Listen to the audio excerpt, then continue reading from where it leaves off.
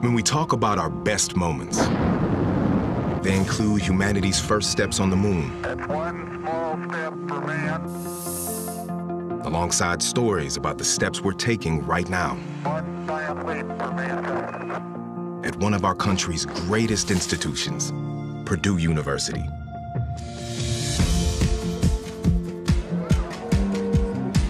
Beauty, highlighted by brick, its fountains and traditions. Campus that stretches across 2,500 acres, nestled in the heart of America. And you can feel it in the hearts of the people here. Hardworking, welcoming, and guided by integrity a family of students and professors who are in this together, all taking the next step, one foot in front of the other. The kinds of innovations that will help solve the world's greatest problems. Persistently pursuing, relentlessly rethinking.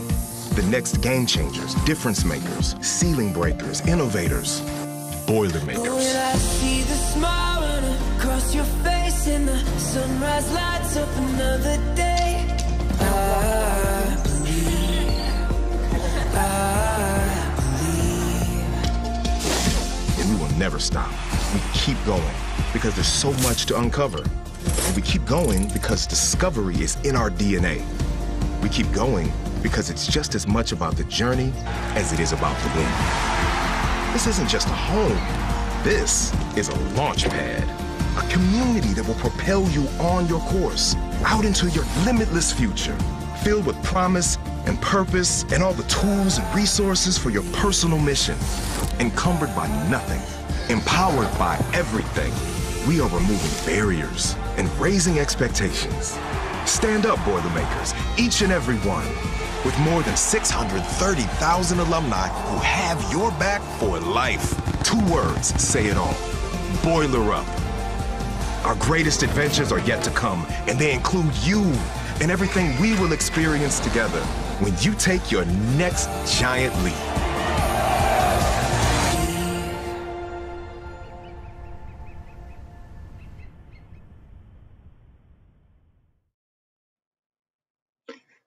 Good morning, everyone in in the U.S. Good evening, everyone in India. For thank you for joining us today.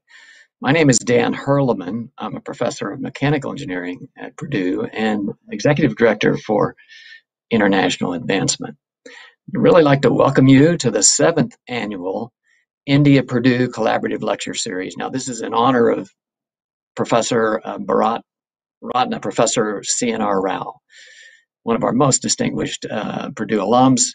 And India is a key strategic partner nation. So we have an India initiative uh, that's uh, very active, and this lecture series is the highlight of our annual India related programming.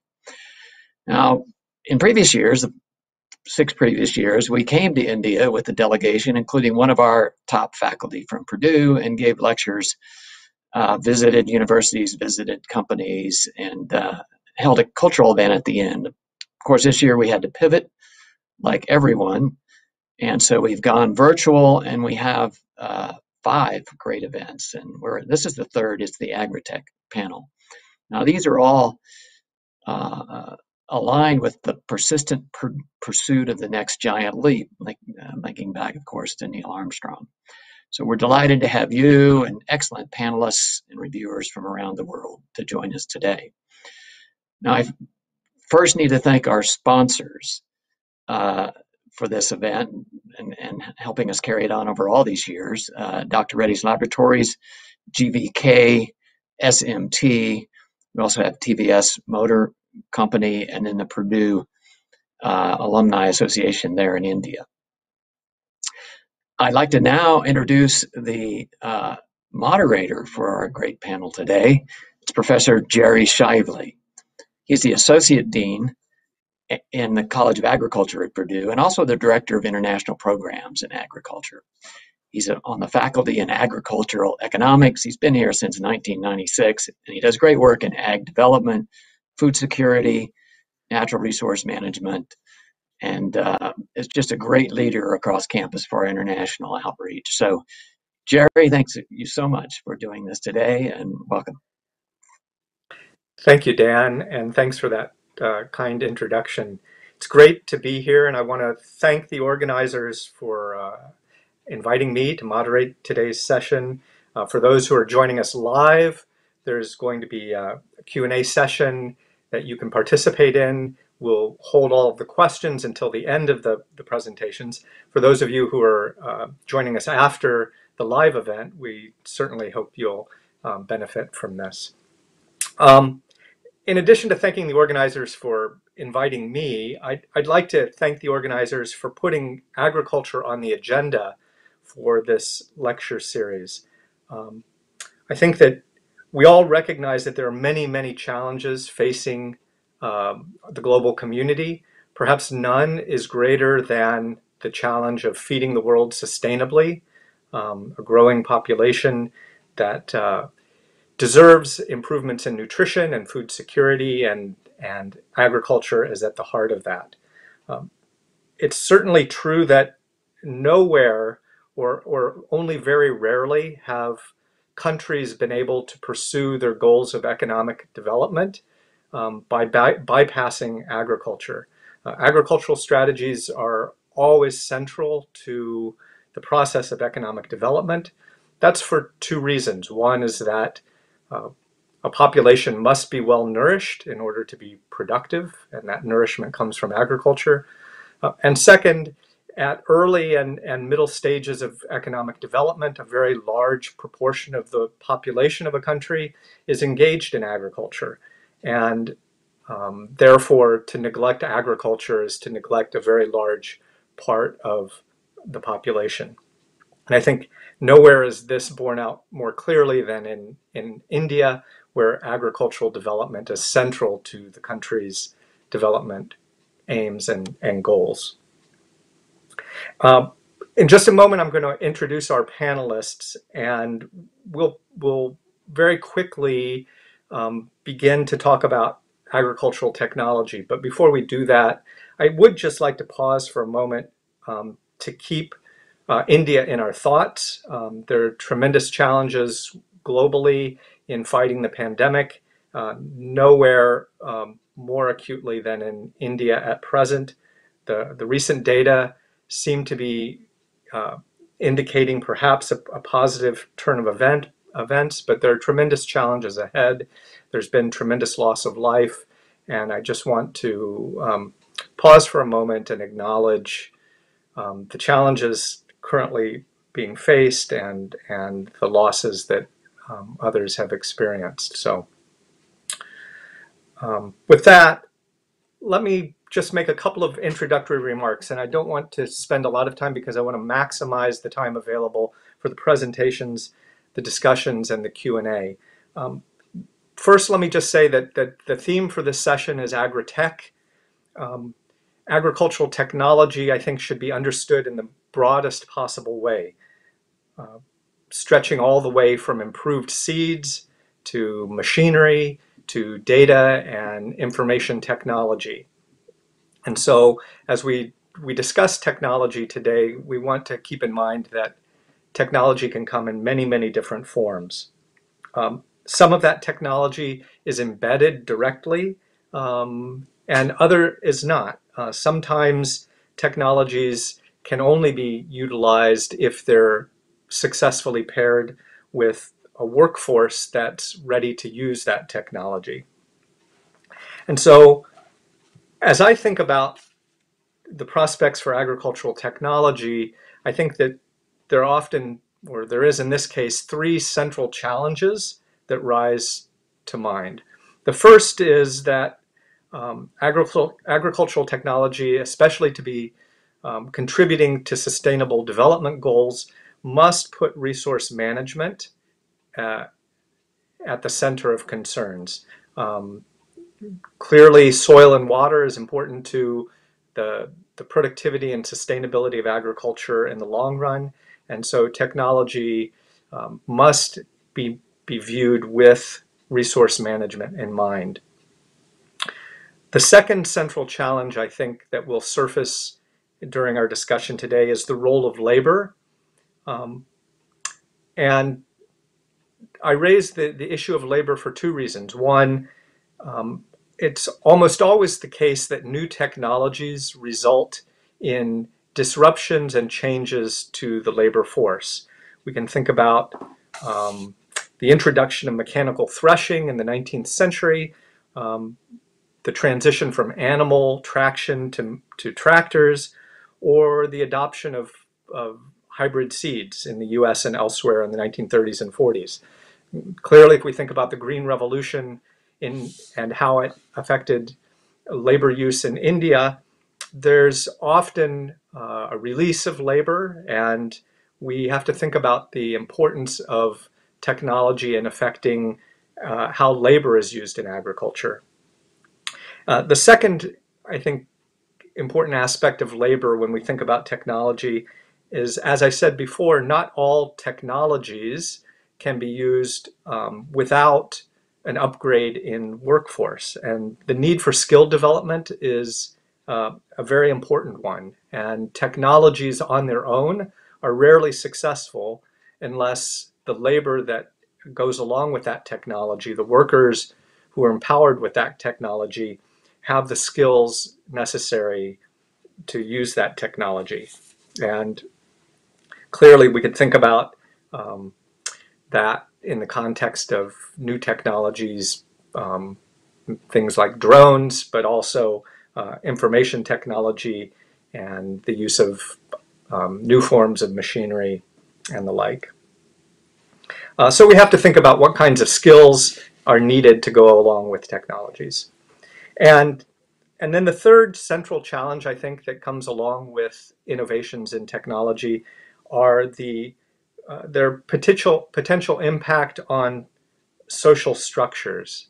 And we know from the history of the Green Revolution in India that uh, new technologies, new forms of agriculture um, have the potential to alter social structures and um, in some cases to be um, contributing to equitable development and equitable growth, but in some cases um, perhaps uh, intensifying divides between the haves and the have-nots, those who have access to technology and those who do not. And I think as we look forward to uh, innovations that are very heavily in, uh, embedded in data needs, uh, the, the concerns about a digital divide between some groups uh, should make us all cognizant of the, the special role that we have to pay attention to social structures as technologies are adopted. So these are big central challenges, resource management, um, the role of labor and, and skill and workforce development, um, and the importance of social structures. Fortunately, we have three thought leaders on these topics who are going to join us today. Uh, what I'd like to do is introduce each of them, or all of them together quite briefly. Um, their full bios are available elsewhere, and so I won't belabor the point. Um, uh, but what I will say is that these three themes and central challenges that I've kind of outlined, uh, I think uh, align very, very well with the, the, remarks that they have planned uh, and the discussion that I think will ensue. First, we have Shaun Ferris. Shaun is the Director of Agriculture and Livelihoods at Catholic Relief Services uh, in Baltimore, Maryland. Catholic Relief Services, of course, a, a global um, uh, NGO that works across a broad spectrum um, of concerns, but in particular in agriculture. And we're very lucky to have Shaun join us today. And Shaun, I think, will start us off by talking about some of the evolutions that have taken place in agriculture and how technology has played a role in that, um, and especially thinking about this concern of resource management. Uh, our second speaker will be my colleague from Purdue, uh, Professor Dharmendra Saraswat. He's a associate professor of agricultural and biological engineering. Um, and I think as his uh, presentation unfolds, we'll focus very, very clearly on agritech innovations in India, uh, the current trends that, that are being displayed in India, uh, the kinds of gaps that are being filled, and I'm very I'm looking very uh, much forward to his contribution today. And then as we become ever more specific in our focus, um, our third panelist will be Ram Dhulipala. Ram is the theme leader at ICRISAT in the area of digital agriculture and youth. Um, and as we think about, you know, the, the importance of combining our innovations in technology with innovations in skill and workforce development, I think he's in a very privileged position to, to speak to that issue and, and to advise us on it. So again, if you have questions, I encourage you to enter them into the, the question box. We will hold all of the questions until the presentations are complete, and then we'll, we'll um, elevate as many of those to the panel as time permits. Um, and with that, I'd like to um, turn it over to our first presenter, Shaun Ferris. Shaun, screen is yours.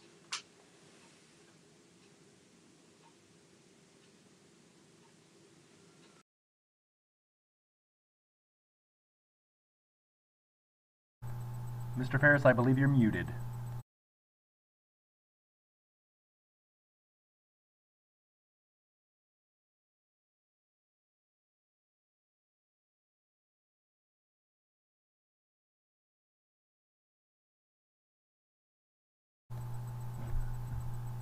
Mr. Ferris, we still cannot hear you. Sorry, sorry. Okay, so maybe I'll start that again. Sorry, I thought we were um, open mic there. Okay, so yeah, great. Thanks very much, Jerry. Um, it's always a pleasure to be here um, with the Purdue team. Uh, I've been, you know, working with Purdue for the last five years, uh, looking at sort of several different areas in which we can collaborate in the work that I do with Catholic Relief Services, which is, I would say, one of the larger NGOs working out of the States. Um, we work in about 51 countries in agriculture, and uh, we're constantly looking for new ideas and new innovations. So, um, yeah, working with the Purdue team is that idea of checking out what innovations are available and how we can put those into scale.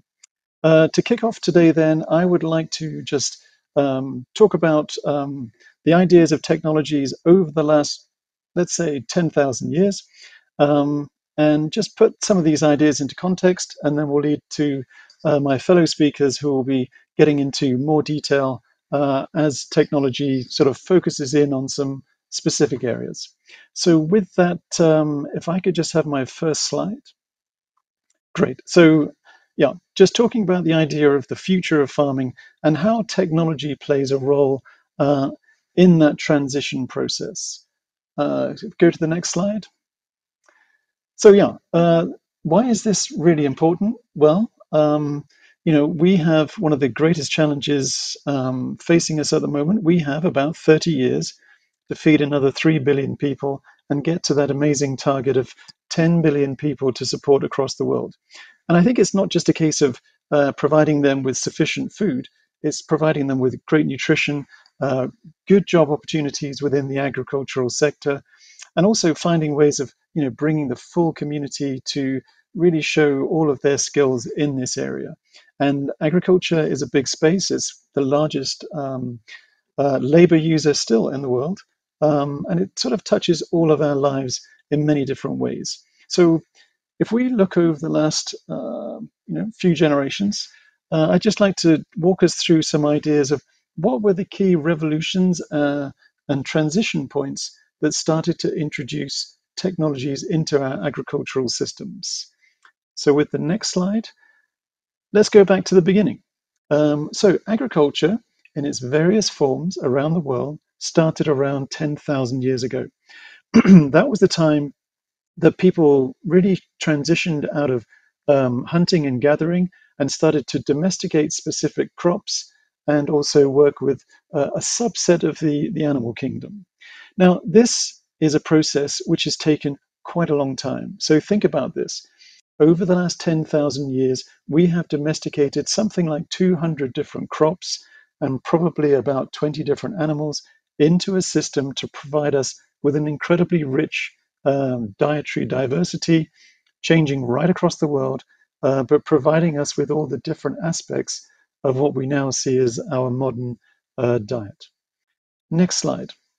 So the duration of that, about nine and a half thousand years. Second revolution only takes place really in the 17th century up until the early, early 19th century. Here we have this massive transition away from just um, all of the um, low tech kind of farming systems, but still very specialized into the industrial revolution.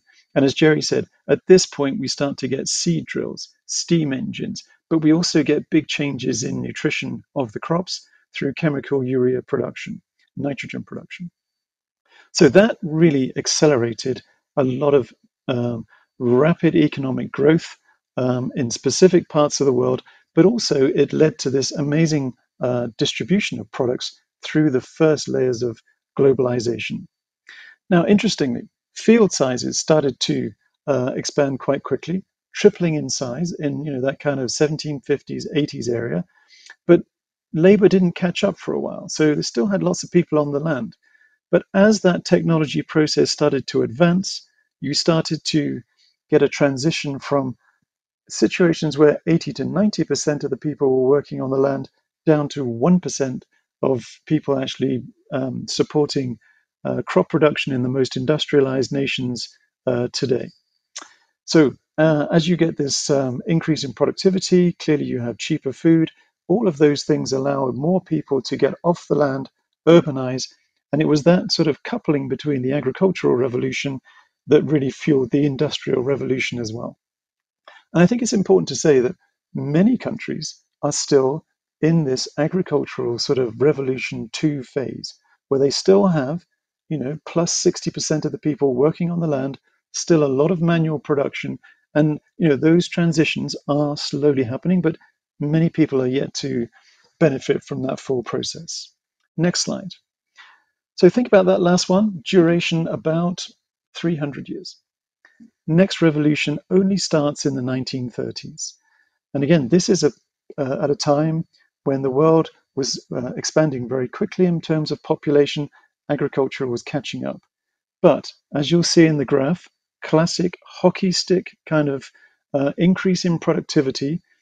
We have, you know, a couple of hundred years where we're producing about between uh, 700 kilograms up to a ton per hectare. And then suddenly, with the introduction of improved genetics, uh, with hybridization of crops, we suddenly get this shift where we're starting to get two, three, four, five tons, six tons per hectare in some of the major staple crops. So we're combining things now. We've got um, better fertilizer, we've got uh, agrochemicals coming in, we've got mechanization, but now we've also got improved genetics. And that genetics process is still happening. Uh, GMOs being one of the latest uh, products, which has shifted uh, maize production, you know, in places like the states up till 10, 11 tons a hectare. Uh, and now we've got these um, really rapid techniques through things like CRISPR, which is allowing us to take uh, genetics from different areas and build in sort of protection to crops much more quickly than we've ever been able to do in the past. So that genetics process, super important today, but also in the future. Next slide. So duration on that one, about 50 or 60 years. Now, what many of you will think about when you hear the word technology is this idea of um, you know um, computerization and the use of you know digital technologies. So this is the fourth agricultural revolution, and not, as I said earlier, not all countries have made this transition yet. So this began in around 2010, uh, deep computerization alongside cybernetics, and this is basically a process which was bringing together this world of the physical side of agriculture alongside this uh, digitization process. So this is often called precision agriculture, digital agriculture, quite often now called smart farming, bringing together digital systems which allow us to integrate programs like finances, like uh, innovation, data driven systems, all leading to improved productivity on the farm better products or greater choice of products getting to people in the urban centers. So this is a, huge disruption which is going on right now. And that leads us towards what is just emerging. So if I can go to the next slide, right now we're seeing agricultural revolution 5 okay so this is where we're seeing um, a shift away as, as jerry said labor being sort of disrupted once again with the introduction of autonomous vehicles um, using very data rich environments which is collecting different types of data in order to provide decision support on the farm so that farmers themselves now are becoming data managers and sort of linked to service providers. So they are managing a very broad process right from um, preparing the land, um, planting, through production, and then to the marketing and sales, all of that being integrated into a very data rich situation. Now, this is causing some segmentation in food systems. Think about sort of high value and low value crops that are being engaged in these processes. Um, in many uh, tropical farming systems, we're seeing a slow introduction of digital processes, a little bit more advances in financial technology, but still quite labor intensive versus some of the industrial nations and the staple crops, which are really moving to a situation where fewer, if any, people are involved in the production of those crops. So you've got some differentiating in farmer types, in crop types, and in use of these different technologies to support these different kind of value chain processes. Okay, and at the same time, genetics is also looking at different processes where you're starting to see this delinking of crops and products. So you start to get people actually generating in the laboratory plant products and processing that into food products. Similar situation happening with animals, uh, livestock, and fish, where you're starting to see people actually culture these products. And this is something which is driving down the idea of costs, but also, I think, taking into account the fact that we are limited in our access to some of these uh, crops and animals. And there's also this kind of important driving you know, new political force, which is looking at animal welfare and how do we um, support people's desire to have more fish, meat, and high value products but to do that in a way which is not having a negative effect on the livestock and the environments that we're working in. So, you know, a radical change uh, as we go into Revolution 5, and this is about five or 10 years old and is really just starting. Final slide then um, is looking at Revolution 6. So this one has not started. And I'm just going to reference you to that um, image on the right hand side, which is you know, what people are calling donut economics. And this is really a shift now where we're looking not only at the different technologies that we're working on, but whole new types of economic modeling, which is really taking into account the boundaries of what we can do in um, extracting more food um, and uh, more products from, from a limited resource. So not only do we have to feed more people, we have to do that in a way which is sustainable physically on the land, but also sustainable economically and uh, environmentally. And that transition is yet to come. That may indeed be one of our greatest challenges, uh, having to deal with climate change and still produce more food. But that really is the challenge of the next 50 years or 100 years. And that's what makes this area fun. So, with that, I'm going to hand back to Jerry. Um, but thanks very much for listening, and I hope that sets the, con- sets the context for the following speakers. Thank you. Ex- excellent, Shaun. Thank you for, for that kind of sweep through history, a very succinct and, and focused view. And uh, it raises so many questions right now, and, and I want to resist the urge to, uh, to ask them so that we move on to our second speaker, uh, Dharmendra uh, Saraswat. So uh, Dharmendra, I think the, the screen will be yours, and I think what you'd like to do, if, uh, if I'm not mistaken, is take this broad sweep of history that Shaun has given us and uh, bring it to bear on the conversation currently taking place in India. Uh, what kinds of ag innovations are um, taking place? What are the trends that you're seeing in technological development in the subcontinent? So, um, to you, Dharmendra. Thank you. Thank you, Jerry, uh, for your generous introduction in the beginning. And now, setting the stage for my presentation. So will you please bring up the slides, please? Yes. So yes, I would like to, to talk about trends and opportunities as I see in India. And, and the reason for my interest is something that I would like to share with you all. Uh, I started my professional career as an agricultural engineer uh, in India's National Agriculture Research System, NARS, as it is called there. I had the privilege to work in the most populous state in India, is Uttar Pradesh, uh, as an university. And then I moved on to Indian Council of Agriculture Research as a scientist. Uh, there I had the opportunity to work in India's uh, National Institute for Agriculture Engineering, uh, which you will be, uh, be able to easily remember. It's CIA of Engineering, and CIA stands for Central Institute of Agricultural Engineering. So although I, I moved to US for my PhD and then uh, made it my home, uh, but because of my uh, initial uh, professional uh, journey in India, I'm still in touch with my colleagues and I, I make it a point uh, to participate in several professional activities that takes, take place in India. So next slide, please. And I would like to, to start uh, from the, the last uh, seed of thought that was uh, shared by, by Ferris, and that is about sustainability.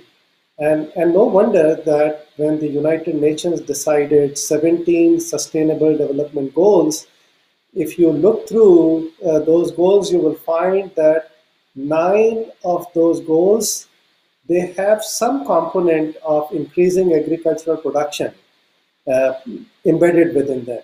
So next slide, please. Uh, and then and then how those goals are important for India. Uh, and you have to understand what is the the Indian agricultural scenario in order to appreciate the importance of sustainable development goals. Number one, about half of the land area is under cultivation in India, so which is one of the the few countries in the world that has that kind of a luxury. Uh, but 45% of the adults are directly connected with agriculture. So that is one of the challenges to uh, how to introduce technology that uh, does not become a disruptor to such a large population that is dependent on agriculture. And to make the the scenario more challenging is the fact that the average monthly income of farmers is only $100, approximately Indian rupees uh, equal to 7,100 rupees. And, and, but agriculture is still very important in the gross domestic product of India, depending on what year we are talking about. Uh, it contributes anywhere between 18 to 20 percent. But I had this quote there that change is inevitable and change is in the air. And that is because of the fact that at this point of time, India has uh, the highest population that is engaged in agriculture, and that population is much younger compared to the rest of the world because their average age is less than 30 years. So, in order to make agriculture attractive to that younger population. Change is needed and change is on its way. And that's what I would like to talk about in next few minutes as to what changes I see happening on the ground. Uh, this is a tree of agri-tech uh, that was created uh, by a report uh, that was created by an industry group in India about a couple of years ago. And what this tree shows is uh, the opportunities and the trends and, and what is needed in order uh, for agri-tech to become a sustainable kind of a development process in India. So you start looking from the, the bottom up. Uh, what is happening is that more and more private and public partnerships are coming together in order to solve a number of challenges that are before Indian agriculture. And, and then what is also happening is that the, the startups uh, that are coming up, they are also looking at the world as a market and then they have started approaching uh, the world market for partnership and for learning uh, in order to, to, to understand the trends and, and, and opportunities and technologies and bring those back home and, and improve the AgTech situation there. And as a result of that, there are several uh, policy level changes that have been initiated uh, to provide uh, support to a kind of infrastructure that is going to be very, very promising to Indian agriculture. And then uh, the businesses have their own way of, uh, of doing things, and, and they would like to be doing things where uh, they can they can make some money, and that is not a bad thing. But uh, as a result of their own focus, there are some areas that are yet to benefit or that are yet to reap the benefits of uh, the agri-tech technology uh, that uh, has a potential to really attract a, a, number of youths to, to remain in agriculture and, and continue uh, feeding a large population uh, that is currently in the country. So next slide, please. Uh, what has been happening in India is something very interesting. Uh, although this data is uh, about a couple of years old, but this is what the latest information is, that uh, about a couple of years ago, uh, there were uh, 450 startups uh, that were founded out of 3,000 plus that were founded all over the globe. And, and the pace of development of the start, startups is such that every ninth startup in the world is from India. And not only that, uh, these startups have been able to attract a lot of funding, and, and as a result of attracting that funding, uh, within a very short span of three to four years, the funding level has gone up from two times to about 10 times. And then uh, a number of Indian companies have also started exploring uh, global markets through a number of initiatives that uh, the, the, Indian government and Indian research infrastructure has launched. Next slide, please.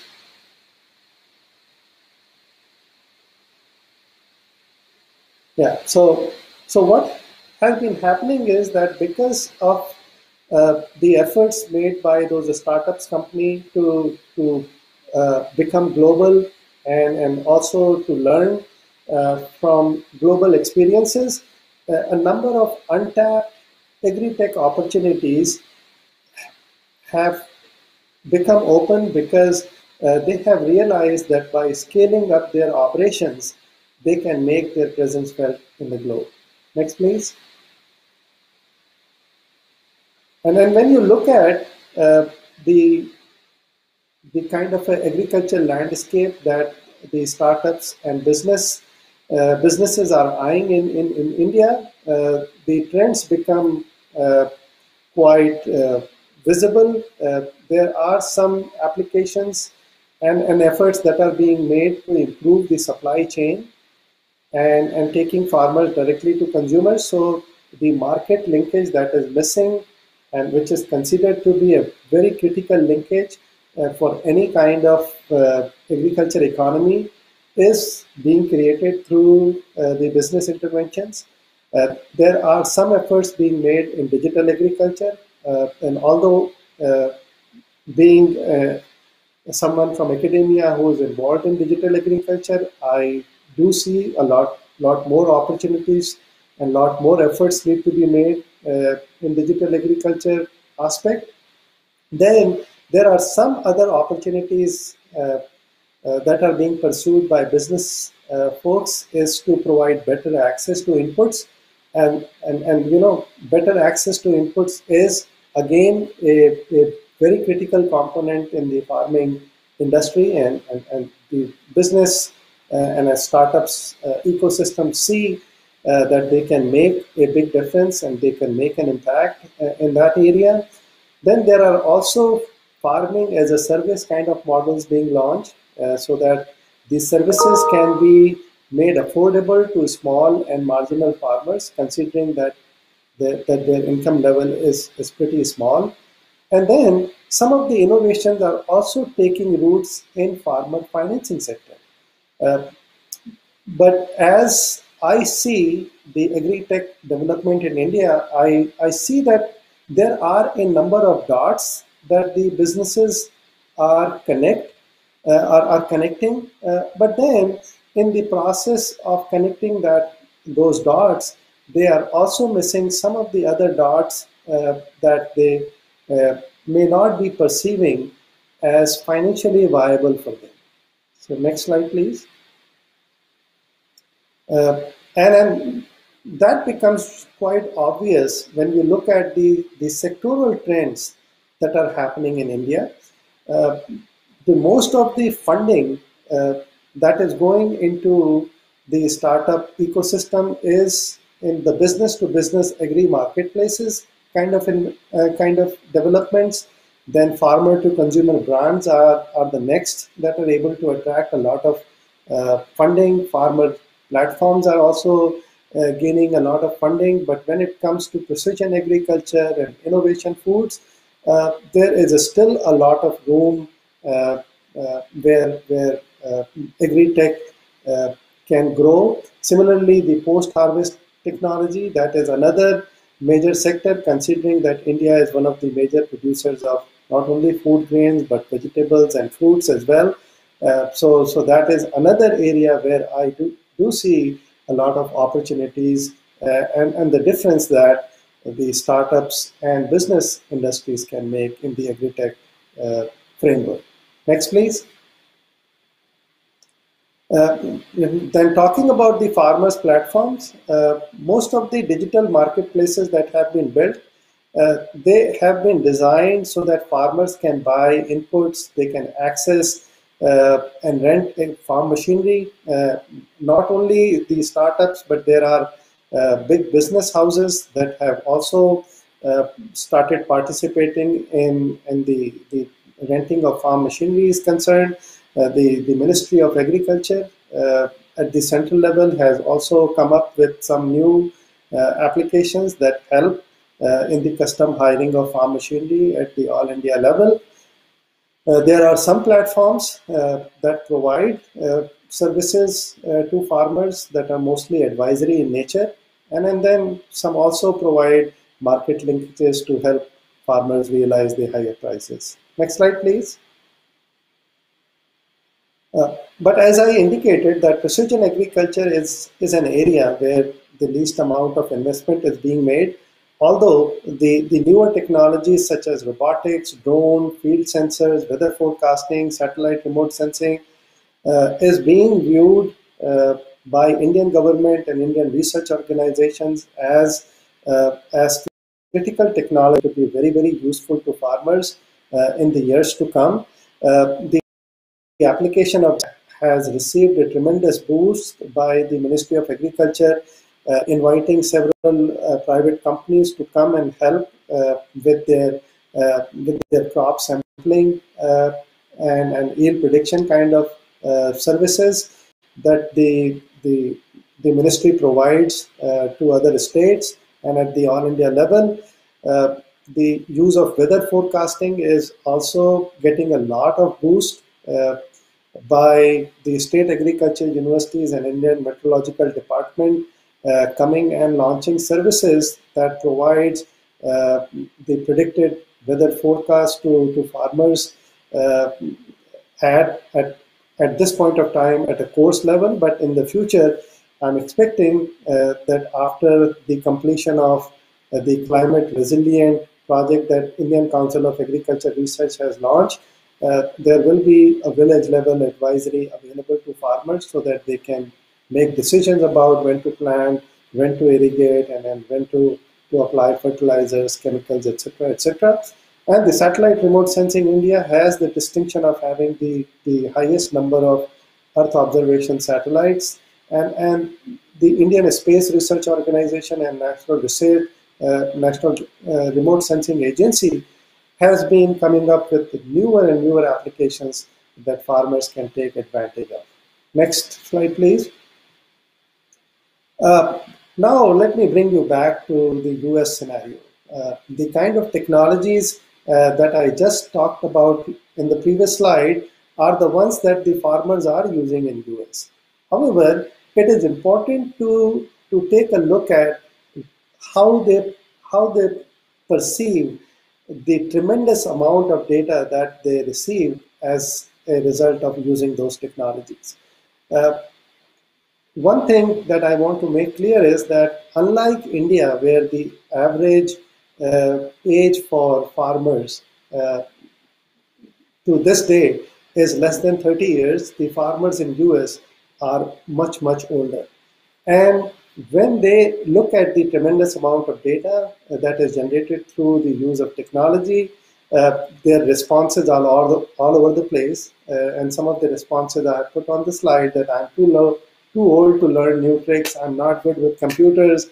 I'm retiring soon, so there's no point. I can't train my partners and so on and so forth. So what I want to, to, to, to share with you is that the same technology that is being viewed as something that is needed in India uh, is viewed very differently. Although it is being used in US, it is considered to be uh, very, very useful. But because of some other factors, uh, we need to come up with different strategies so that it becomes much simpler to be used by older farmers. Next slide, please. So, so far I talked about uh, the efforts being made by industry and, and some efforts made by government. And I also wanted to provide you a picture of how the academia is moving about the infusion of new technology and where, where they see the trend going uh, in agriculture. So, so this is a, a review that includes the number of publications that involve uh, the use of machine learning for agriculture applications and the time period uh, that is uh, a part of this review is from 2004 to 2018. And, and what this review suggests is that the most of the contribution from the academia of, of the use of new technologies was in the area of crops, and particularly yield prediction and, and yield management uh, and disease management, weeds management, and things like that. Uh, about 20% is in livestock, and about the same percentage of the academic publications are in the resource uh, management sphere, that is soil and water management. So despite the, the resources being very critical and, and, and, and one of the factors that, that Jerry mentioned uh, is something that we should be looking at uh, when we talk about agriculture trends the, it has not been able to, to get the same level of attention from the academia side as much as uh, the, the crop production has received. And, and the livestock is also something very, very important. And I, I hope that in, in the years to come, livestock is also going to uh, be able to, to achieve the same level of uh, uh attention from academia as crops have been able to achieve so far. So next slide, please. To sum up my thoughts, uh, uh, what I see is that uh, farmers have to face a number of problems uh, that I have depicted through this mountain. They have to uh, be taking care of the debt that they take to, to run their operations. They are always worried about, about maximizing their profits, minimizing the inputs, uh, also keep an eye on the market, and so many other factors that they have to manage. Uh, and, and the business and governments have tried to provide solutions, uh, but the solutions are all over the place. And although some of them are precise, as one of the larger circles shows, but the farmers are more interested in getting solutions that take care of their need with much more accuracy than it is possible now. So this is where I see that designing, developing, and uh, involving farmers with very, very targeted solution is where the agri-tech uh, is expected to go. And, and being one of the, the, the proponent of, of agri-tech, uh, I have lots of, uh, of hopes and I see lots of opportunities to provide very, very directed solutions to farmers. So with this, thank you for your attention and I look forward to answer your uh, later on.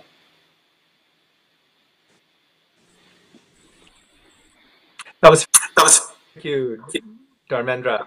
Um, really, really brilliant presentation, bringing this right to home in India. And I think the thing that struck me was um, how many of the the startups that you identified are names that are completely unfamiliar to me, and how some of those in the years ahead will likely become household names for many of us as uh, as some of those uh, startup companies mature and become uh, major players.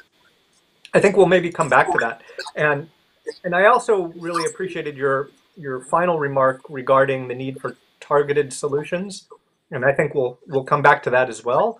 Um, but that is a very nice transition to our third speaker.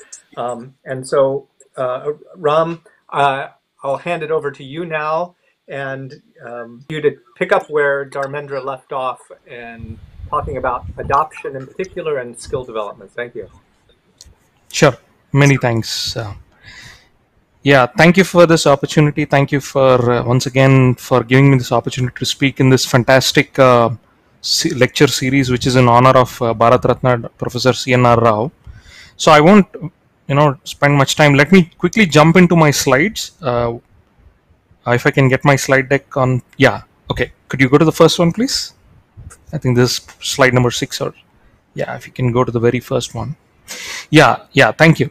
So this is what I would like to present. Uh, you know, we've seen Shaun basically give us a quick introduction about the different kinds of, you know, the revolutions in agriculture, and finally, you know, the revolution that we are all kind of living through, the digital revolution, so to say. And then we had Dr. Dharmendra, who kind of uh, gave us a, a fantastic. Uh, uh, overview of the kind of uh, you know the challenges that uh, various entrepreneurs or startups are trying to pick and uh, address through digital technologies what i would like to do through my presentation is deploy a bit of theory and try to give you a sense of the typology of digital innovations in agriculture.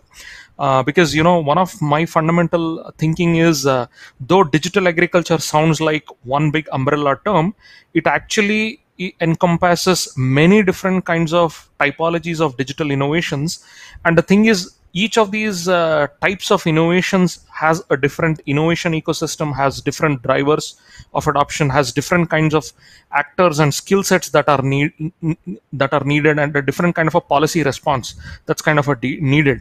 So that's why what i'm trying to do through my presentation is give you a sense of different types of uh, digital innovations in agriculture and then look at uh, you know uh, what could be some of the drivers of uh, scaling each of those different types. Could we move to my next slide please yeah, fundamentally, I'd just like to take a reference to the transaction cost theory proposed by uh, Ronald Coase, a Nobel winning economist. Uh, fundamentally, why I'm using this theory is if you look at what digitalization has been doing or what digitalization does, fundamentally, it actually brings down the cost of transactions, right? I won't go much into detail into this slide, but uh, what I would like to draw your attention to is to the last uh, to the bottom left of my slide, wherein uh, World Bank had published a fantastic paper in the year 2016 about digital agriculture. And what that paper very convincingly argued is that as and when you know as as digitalization becomes more and more rampant you see digitalization is not like a one big bang uh, phenomenon right? It's a very gradual trickle down approach. It starts gradually and it kind of you know systems become more and more digitalized right? So what this paper very convincingly tries to argue is as and when digitalization becomes more deeper and deeper and becomes more rampant uh, it leads to transaction costs falling and as and when transaction costs in the system you know keep on reducing uh, it leads to some very interesting phenomenon. Uh, some of those phenomena are it leads to more inclusion uh, you know it leads to more efficiency and finally it leads to a lot of innovation. So to quickly give you an example of what I'm trying to convey, you know, th- through the use of e extension, you know, the most popular use of uh, ICTs or digital technologies has in agriculture has been in the realm of extension, right? So if you look at the example, as and when you start digitizing your extension, fundamentally what happens is in countries like India, you know, traditional extension is serviced through uh, agriculture extension officers who make physical visits to farmers. Now, we are a resource constrained country, so we do not have the luxury of having enough number of extension officers so that there is adequate extension coverage. Through digital technologies, what happens is populations that never had access to formal extension also start receiving some kind of an advisory or extension or video based lectures, etc. So, that's an example of how digital technologies can lead to more inclusion. Second, how does it lead to more efficiency? The same agriculture extension officer who used to probably, you know, cater to say 300 or 400 farmers a year through field visits, today using WhatsApp or through video channels or through lectures or, you know, through the likes of innovations of the likes of digital greens, has, you know, the whole process of extension has become a lot more efficient. So that's the second big phenomenon that digitalization leads to. Now, the last and the most interesting uh, consequence of digitalization is, of course, innovation. Uh, this is you know uh, you know this in in an alternative world we are beginning to call this thing as disruption you know. So today you have the apps of the likes of plantix you know which are using deep neural networks and image recognition and you know are bringing mobile apps to farmers that you know that mimic the the functions of a expert. So here is a quick example of how digitalization leads to lowering of transaction costs which in turn leads to this phenomenon at a broad level called inclusion efficiency and innovation. Can i move to the next slide please? Yeah. So what i've tried to do here is uh, as i as i just told at the start of my presentation uh, you know digital agriculture though sounds like one big word it actually comprises of a number of different things like just take the example of digital right? What do you what really constitutes digital technology? It could be mobile phone cloud uh, you know e-commerce platforms to you know all the way to iots robots whatnots. And the the term itself is evolving. Each passing day you have a lot of new uh, you know digital innovations that are making up right? So if kind of that is the context how do you really understand this uh, you know this this elephant or this big animal called digital agriculture. This is my humble attempt where uh, i have tried to create what is what i call as a canvas of icts for agriculture where i'm trying to define different types of digital innovations in agriculture. And what is the basis for me to arrive at these types? So what i've done is if you look at the center of my uh, screen i've actually placed smallholder farmer okay? And then I've tried to, you know, take a value chain perspective and then really try to understand what are the different actors uh, or the institutions uh, that a smallholder farmer or a farmer has to deal with, uh, you know, during the course of their agriculture. Okay, so as you can see, I have uh, come up with some very fancy terms for the one of the first institutions that I believe that a smallholder farmer has to interact with is research institutions because at the end of the day, uh, it is the research institutions that are actually you know driving a lot of the technology R and D and technology enhancements in you know as far as agriculture is concerned. But farmers have to somehow interface or interact with these research institutions in order to access that technology or the agriculture know-how. And i've also kind of written down how is how is it that farmers interface or interact with these uh, research institutions. Uh, you have these knowledge intermediaries in between which are the traditional extension or increasingly a lot of non-governmental organizations a lot of uh, you know extension organizations are coming. So these are you know the institutions that are kind of a bridge between the research institutions and the smallholder farmers.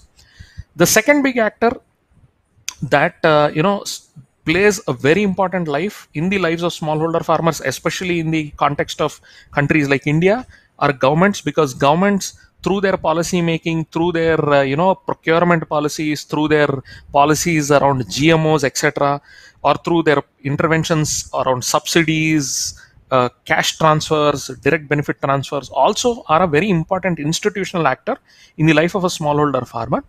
And how is it that governments actually interface with smallholder farmers? They have their own line departments. They have a secretariat. There is a district agriculture officer. There is a mandal agriculture officer. All the way right? Similarly a private sector increasingly has you know is playing a very important role in the lives of the smallholder farmer. And how is it that the private sector interfaces with smallholder farmers? They set up their own distribution channels. And smallholder farmers themselves you know uh, have to interface with consumers because end of the day whatever they produce has to get consumed by someone. So that's where the consumers play a very important role or a very important actor in the lives of the smallholder farmer? And what is the bridge that connects the uh, smallholder farmer with the consumers? I have put that as ag marketing structures. Like in a country like india we have the national agriculture market or the apmc system which actually is a very structured way of linking smallholder farmers through to the end consumers. Now, apart from these four big institutional actors, if you see, I also believe that the community of farmers, you know, the peers, uh, the society around the farmer also plays a very important role uh, you know in agriculture and in the day-to-day functioning of a smallholder farmer. So i've also put that as peer-to-peer collaboration platform. And finally uh, you know farmers themselves you know they have their own you know they have to do their actual agriculture operations.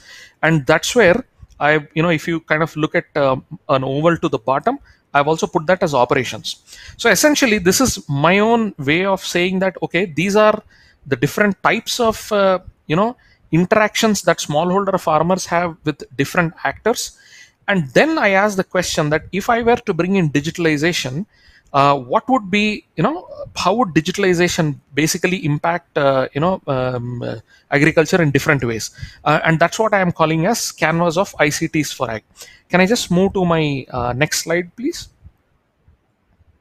Here again as i said i am again calling this as the innovation spectrum of agriculture. You know it's just a it's just a repeat of my previous slide. These are the six broad thematic areas that i am defining you know that uh, as far as uh, digitalization of agriculture is concerned and what i would like to also you know underscore here is now digital agriculture is very different vis-a-vis some of the past revolutions of agriculture in the sense that most of the past revolutions in agriculture if you see were all basically centered on the farm the digital agriculture is one unique uh, revolution in the sense that you know the the revolution the the change is occurring at multiple points in the agriculture value chain right?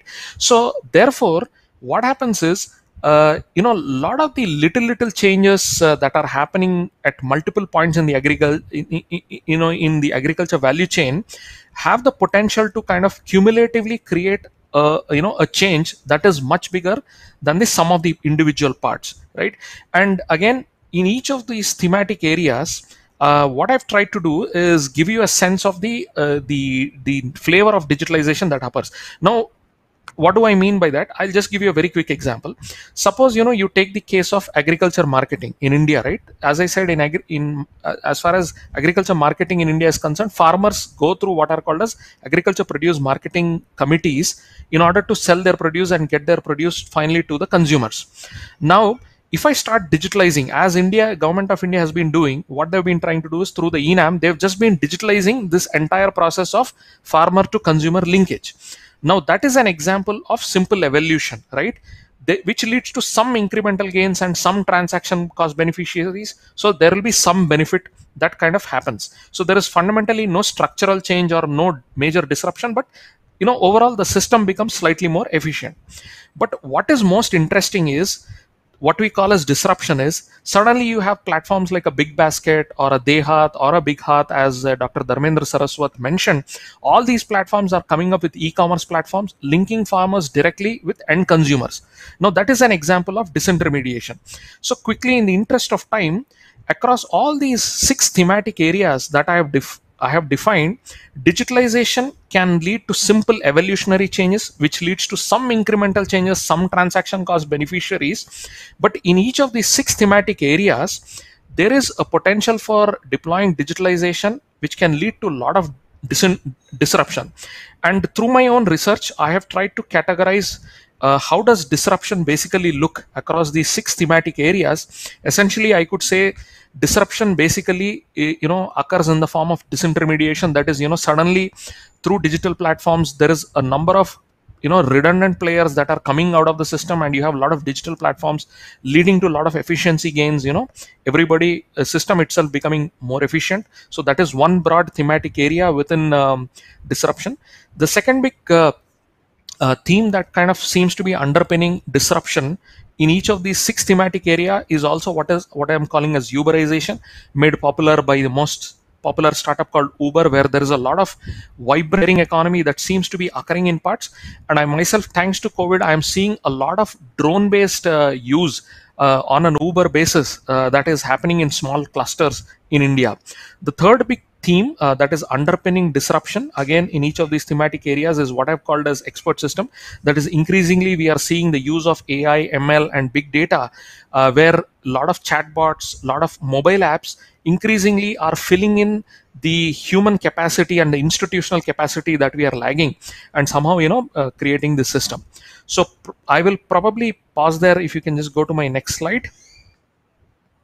It's a summary slide uh, what I would like to present is, uh, you know, digitalization is a multi-actor, multi-scale, and a multi-dimensional activity. Uh, let's not look at it as, you know, one big big bang and you can't understand it. It happens in a very organic way.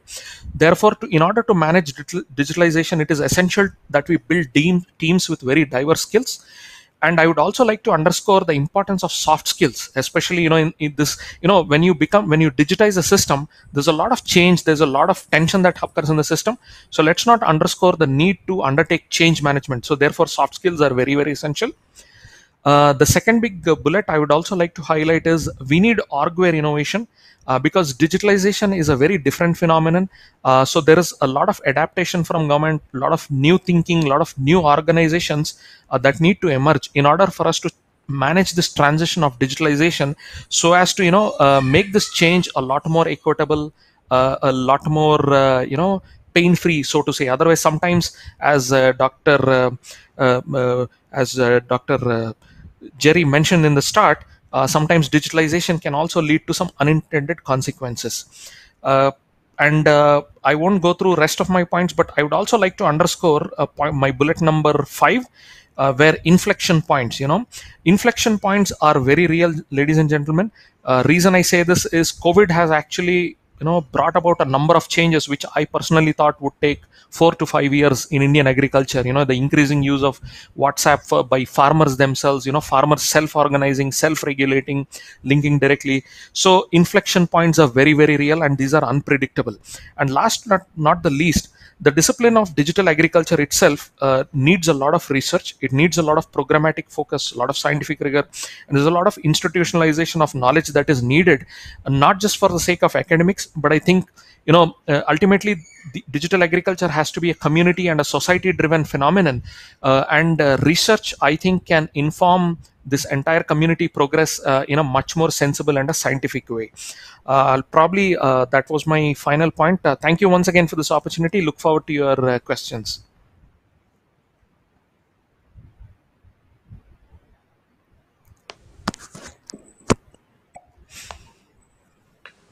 Hi, thank you so much for that um, presentation. And, you know, as I look at your summary slide and the bullet points, I think that each of them could occupy us uh, as an entire topic of conversation um, for a for a meeting like this. Um, lots and lots of ideas out here, and so now the the challenge for me as moderator mm. is to um, take the the num the the very interesting questions that have been entered into the the chat and suggested, as long as as well as some that I have in mind myself, and try to uh, moderate a discussion on this point. And so, I'd like to begin kind of very broadly um, asking a question about adoption that I think each of you um, can speak to, and I think each of you has something to, to offer on this subject. Um, you know, as we think about not just agriculture, but but um, you know, manufacturing, industry,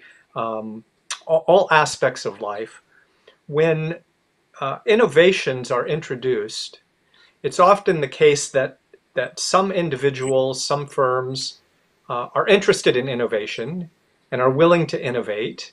Um, we we call those early adopters often, and certainly if we think about the green revolution and how it affected agriculture in India. Um, there was nothing about the technology of, of improved seeds and fertilizer and water management per se that favored large farmers over small.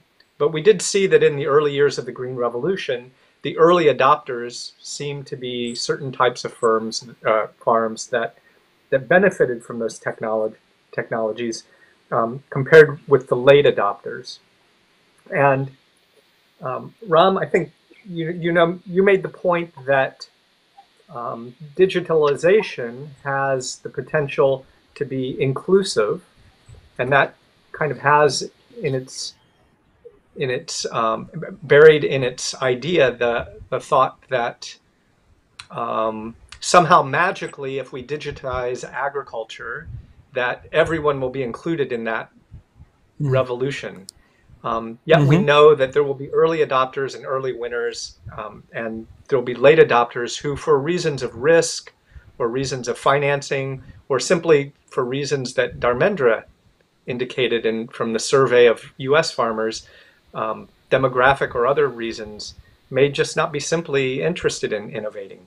So, the question that I'd like to put out to the panel uh, for each of you to comment on is what do you see as the main barriers to adoption in, in these new technologies, and how can we overcome them? Um, and obviously, that might um, um, take on various aspects that you've touched on. So maybe I'll, I'll just take you in the order that you presented. We'll start with Shaun. If you and if you you don't have much to say on the subject, we can move on to the next. Um, but I'll give it to you now. Great, thanks, Jerry. Um, yeah, okay, this um, issue around new technologies and adoption is something that we deal with every day. You know, we want um, farmers to get access to new technologies, new ideas, and to be able to bring those together, not just as single components, but to put those in a better farming system. Um, you know, I, I think that um, when we're looking at adoption um, and access, there's a lot of different segmentation in the market. And as Ram has said, there's a lot of disruption in the market because of the way it's being introduced. But you know, one of the things that I always think about is that you know, along with those agricultural revolutions, just think about some ideas of infrastructure. You know, the idea of we started with paths, we sort of made them a bit bigger, got horses on them, made roads, and that was a big adoption which allowed lots of other technologies to come into a better connected world just with roads. And then we started uh, thinking about things like railways to speed it up. And, you know, that had a big influence on, you know, travel within countries. And then, of course, shipping got it to other places. And that allowed more technologies to become available to people when they saw those things.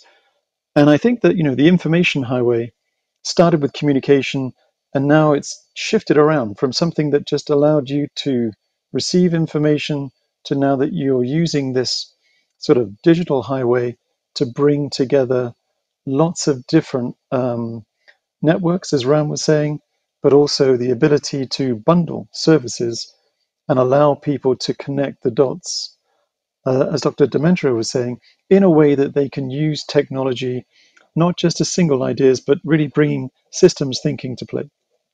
So, you know, I think that what has been most interesting in the last 20 years is just the massive investment in digitization right across the world.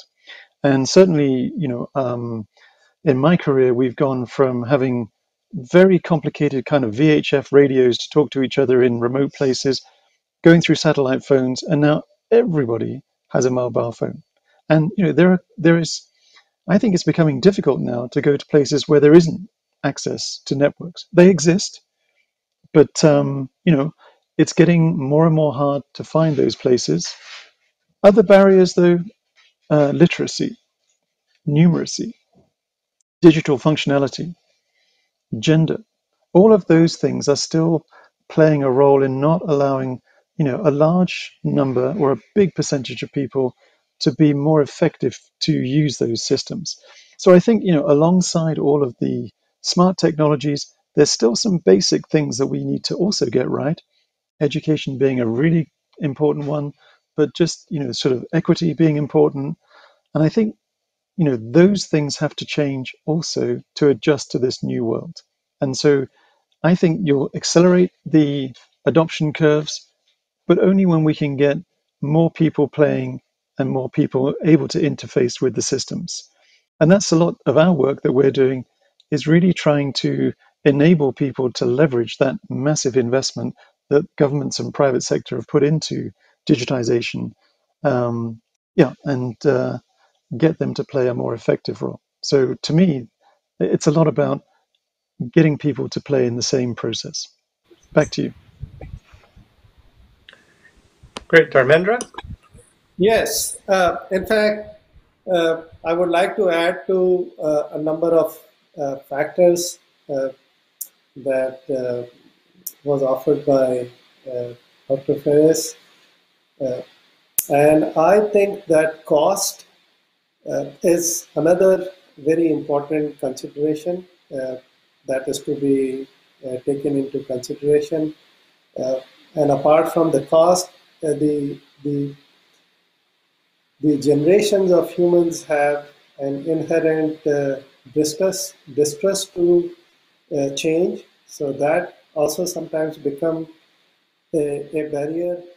And uh, both of these uh, factors have been overcome in India. Uh, number one, because one industry player came and suddenly dropped the cost of accessing data over smartphones uh, and as a result of that, the cheapest uh, data plan that is available anywhere in the world, and that is in India, and, and that really made a big difference. Uh, the, the cost of uh, mobile phones has also uh, come down uh, very significantly, and, and the COVID 19 pandemic, as I was reading in one of the newspapers, has really, really changed the entire landscape because the only way and only mode uh, for for farmers to uh, to get connected to uh, the markets or get connected to their peers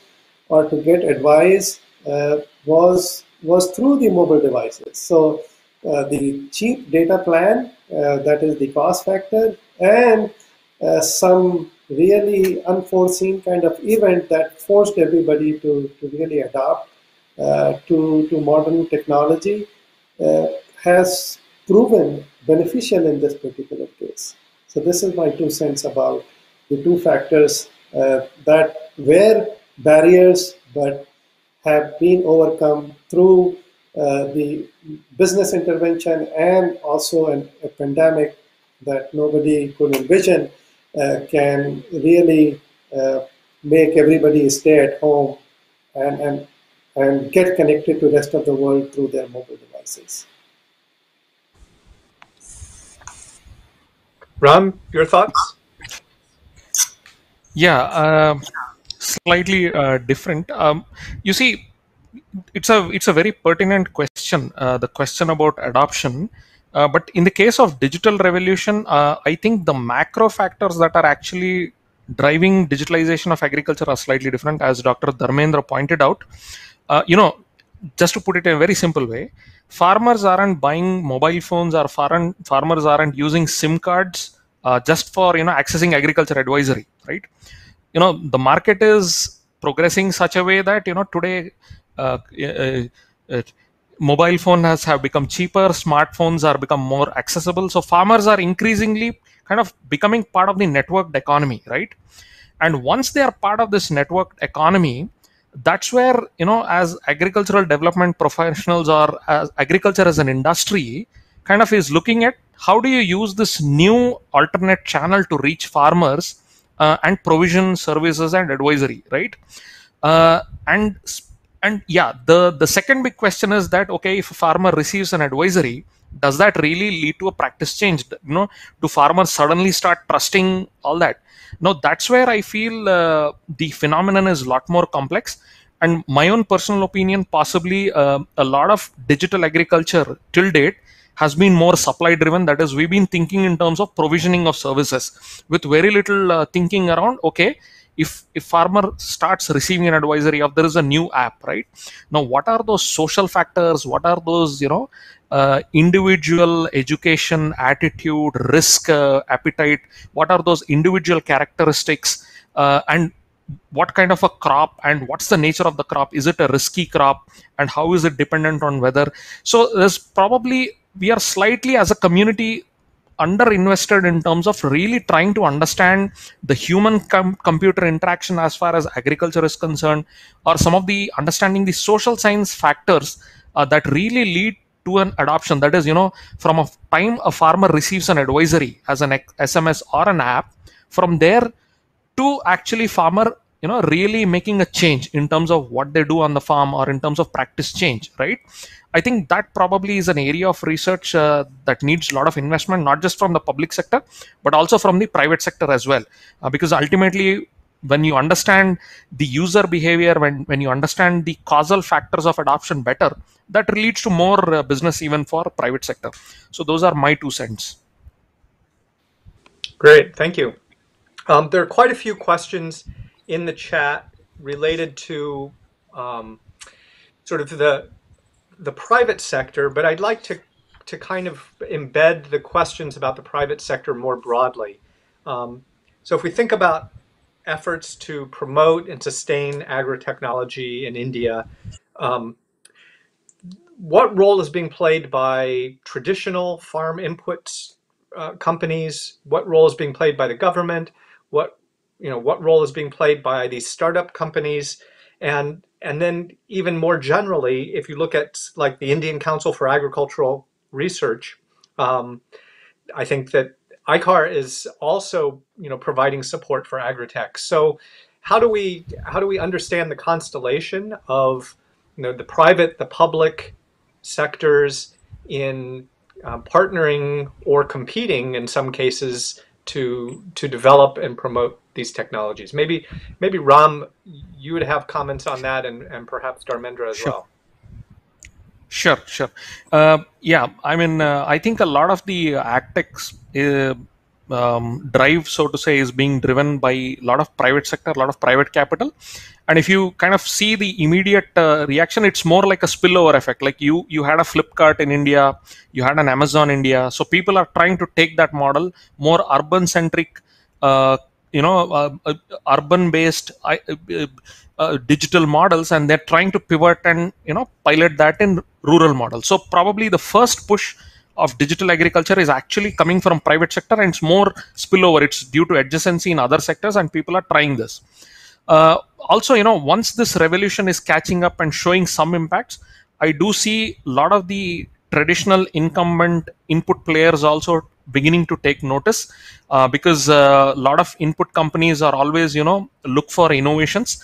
Uh, and traditionally if you look at the agri input industry in India, uh, it's kind of been a little cut off from the rest of the uh, other sectors in the economy, right?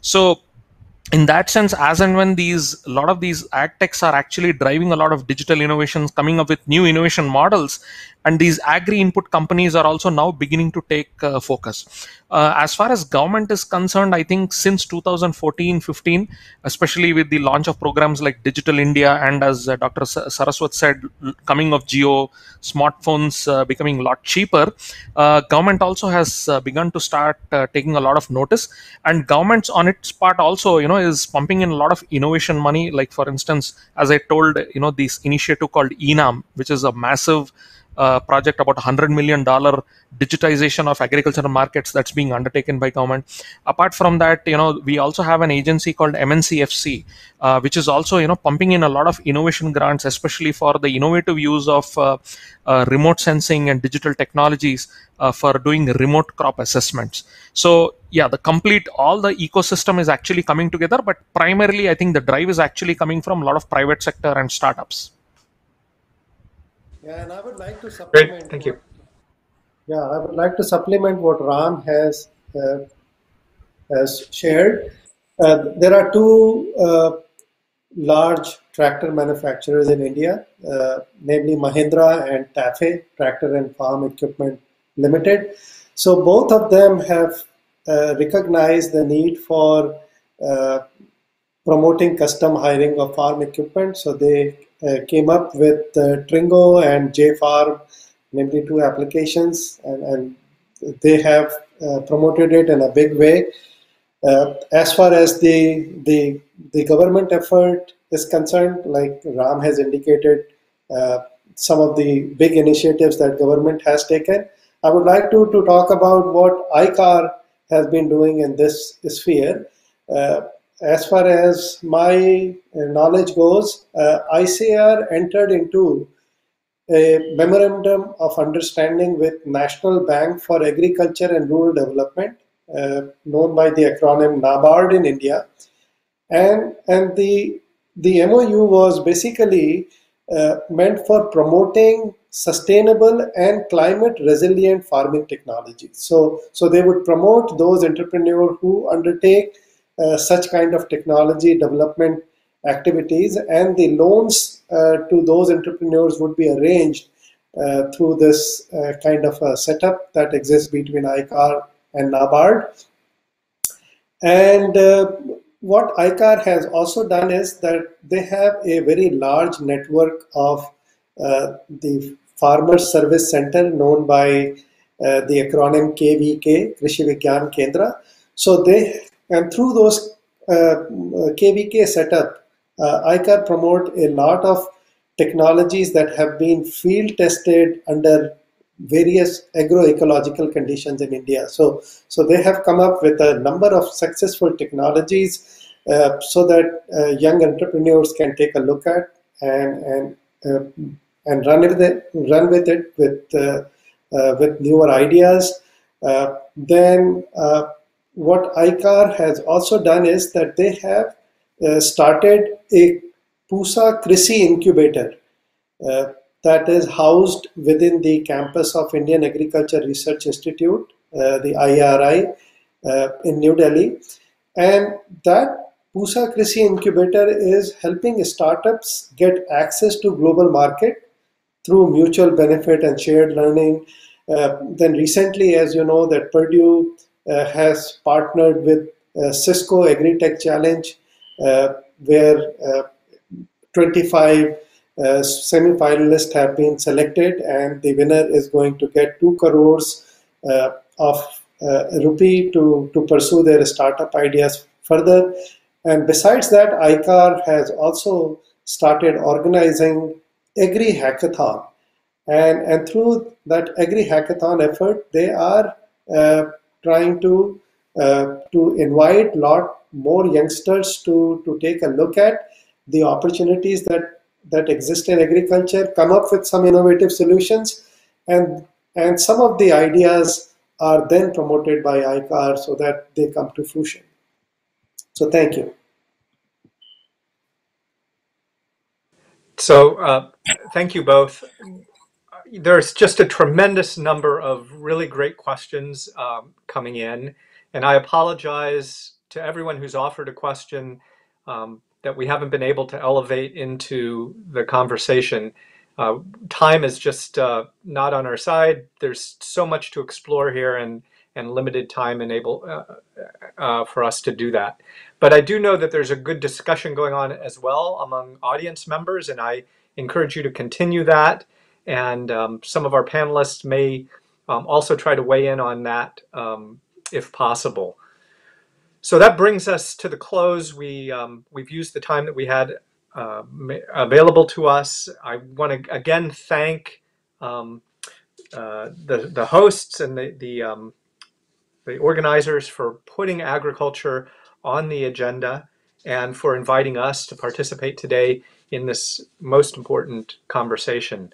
Um, and again, my thanks to the panelists, uh, Shaun Ferris from CRS, uh, Dharmendra Saraswat from from Purdue, and uh, Ram Dhulipala from ICRISAT. So thank you all for for being here today, for your time, your very thoughtful uh, comments, and the the energy and enthusiasm that you brought to the to the topic.